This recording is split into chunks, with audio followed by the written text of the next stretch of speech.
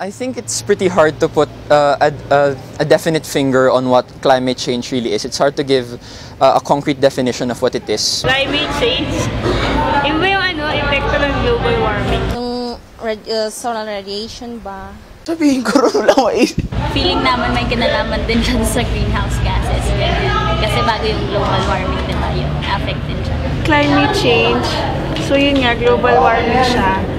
Tapos, um, bali yung mga epekto niya, parang nakikita na sa ngayon. Sa climate change, bale slow pace siya pero yun nga, parang mapapansin ka agad na yun, epekto.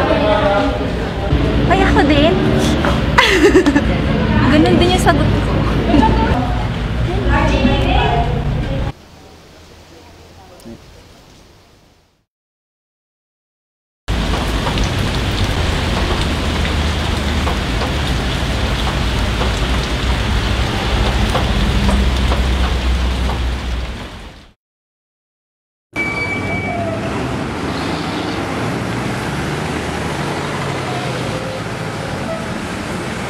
talaga namang nagbabago ang klima paglipas ng panahon. Pero ang issue kasi ngayon, hindi normal yung changes na nangyayari sa sa klima at nagkakaroon nga ng rapid uh, or mabilis na pagbabago or rapid rise of uh, global temperature for that matter. Oo, natural siyang proseso pero hindi pero napabilis yung pag yung mga epekto niya ng ng tao dahil sa kagustuhan nating kumita, yumaman at ah, pagsilbihan ng sariling interes ng tao. Eh di masasabi natin dahil nga isang epekto yung climate change ng excessive human activities.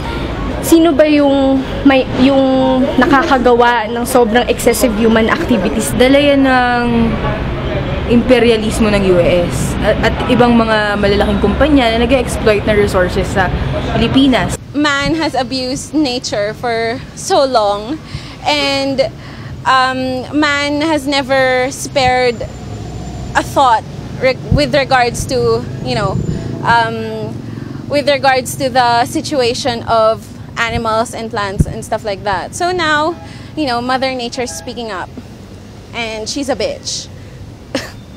and it's called climate change.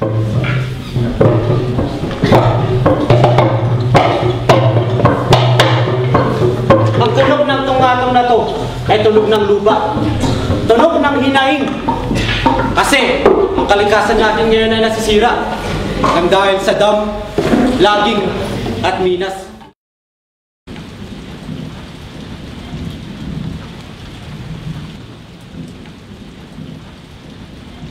Ang epekto ng climate change sa aming probinsya, lalong-lalo na sa Aurora, kung saan open siya sa Pacific. Halimbawa na lang ay kagaya ngayon, wala akong allowance dahil nabagyo yung mga pananim namin. So, hindi nakapagpadala ng allowance yung parents ko, kaya ngayon, nagtitipid ako, hindi na ako kumakain ng tanghali para lang may allowance. Sana, ah, makagawa ng ang ating gobyerno ng paraan para maso, ma-resolve itong problemang ito. Laki talaga ang epekto niya doon sa amin sa Ifugao. Kasi uh, yung mga yung mga yung mga palayan is nasisira na dahil sa dahil sa sobrang ulan imbes na summer sana is uh, hindi kasi hindi eh. Sa Agusan, Agusan Marsh is uh, umaapaw yung tubig ng mag- magsisimula ng uh, December to March. Pero ngayon, unpredictable na. So, yung pananim nila, eh, kuwan na, pag uh, yung tanim nila, hindi na sila makakakuha ng palay. So, biglang tataas yung, or aapaw yung tubig. So, yun, nasisira yung pananim nila kahit bata pa yung kan or hindi pa namumunga. Usapin siya ng social justice sa amin dahil kami ang mga katutubo or DIPs, yung mga nagko-contribute ng pinakamaliit para sa pagbabago nga ng klima. Ngunit sila naman yung nakakatanggap or sila yung higit na naapektuhan nga ng uh, climate change ang pagbabago ng klima. Paano natin i-mitigate mitigate ang climate change kung in the first place, hindi naman natin alam kung ano ang climate change. Yung napakahalaga talagang bahagi, yung pag-educate sa mga tao. Sa pag-educate mo ng mga tao, ay mga younger generation, mas lalo silang namumulat kung ano na yung nangyayari. mag-conduct na lang ng mga ano, ng parang educational discussions, ganyan, or mga information drives, something, lalo na sa mga, sa mga hindi masyadong, hi- hindi masyadong maganda yung access nila sa information about climate change. Empower the sectors that can participate, capacity building. Hindi ah, hindi sapat na turuan, i-educate mo lang yung mga mamamayan. Sabihin mo, ito ang climate change, ito yung nangyayari sa atin. Hindi sapat na ganun lang. Turuan mo sila kung anong gagawin nila. Empower them, capacity building, gawin niyo silang capable na magpatupad ng sarili ng mga proyekto na kulang na kulang ang gobyerno o kulang na kulang ang mga otoridad na nasa posisyon para magpatupad, magpatupad ng mga proyekto. Nagagaling mismo ang initiative sa komunidad at pataas ng pataas hanggang sa lahat ng tao yung ginagawa ng isa, eh pwede nang gawin ng lahat. ang pagbabago ng klima ay hindi lang issue ng ng siyensya, ito ay issue ng lahat ng klase ng disiplina.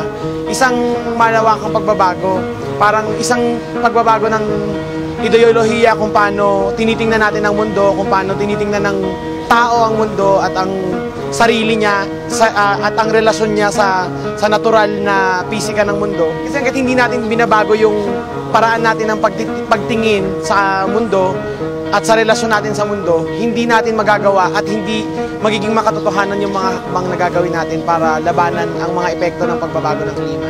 on a more holistic or global level, I think that there needs to be international accountability with regards countries not wanting to lessen carbon emissions, especially first world countries. If you remember the Kyoto Protocol, not even the US wants to, you know, lessen its carbon emissions. So I think there needs to be international accountability with regards helping, you know, prevent further changes in our weather and climate. bilang isang bilang isang kabataan at bilang isang nakita ko nga na climate change ay isang um, challenge nga sa atin at uh, sa tingin ko matutugan na natin ito sa pagsasama-sama at pagtutulong-tulong.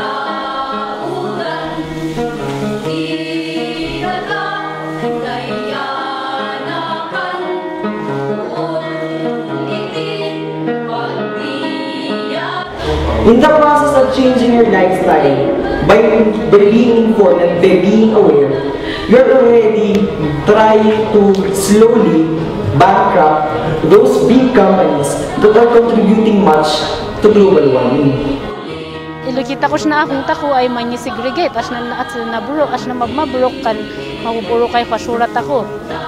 Kan na isublit ako nandiyan sa nandiyan sa ah, ah, dati ay kabgabin tako as nan pa nag uh, ikwasuras nan in luglukit tako. at sa tako ko ma uh, hoy-hoyanan lawraw tako sa tako ay uh, ananakas asya ta no hoy-hoyan tako na sa tako mitlang na Instagram iso nga kasya pura na inanap tako sa pamayan tapno uh, um, watcha masakbayan tako ay naranyag kun uh, kawis.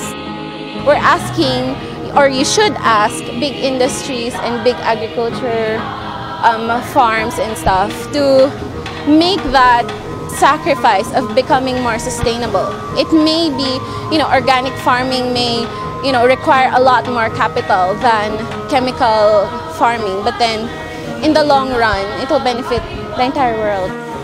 Baon man lang iti vermicomposting kat adu dagiti problema nga masulbar kat sinto iti salinat kan sanitasyon ah, nga magapu ka dagiti basura kat adu dagiti agsakit kan adu met lang ti idulot na nga rugit iti angin kan danom nga makaapekto iti ang kabiyagan no nagbiag dagiti umili ti bagyo ang climate change ay uh, usapin or issue para sa lahat ng mamamayan.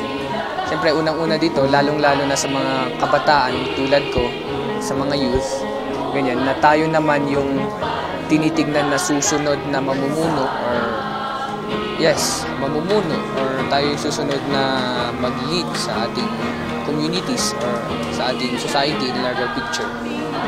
So, as early as now, kailangan na nating gumawa or uh, kailangan natin gumawa ng mga aksyon.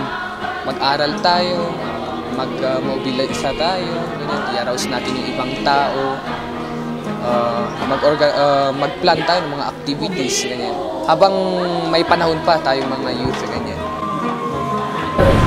Save the forest. Plant a tree. Save a life. Drop it to 350 because it's hot. Defend people's resources. Reduce, reuse, and recycle. Make a better world for our children. Daga, biyag, kinabaknang, salakniban. Our planet is ours to enjoy, not to destroy. Yutang kabilin. Depensahan panalipdan. Social justice for indigenous people. Dare to struggle, dare to fight. Land is sacred, land is life.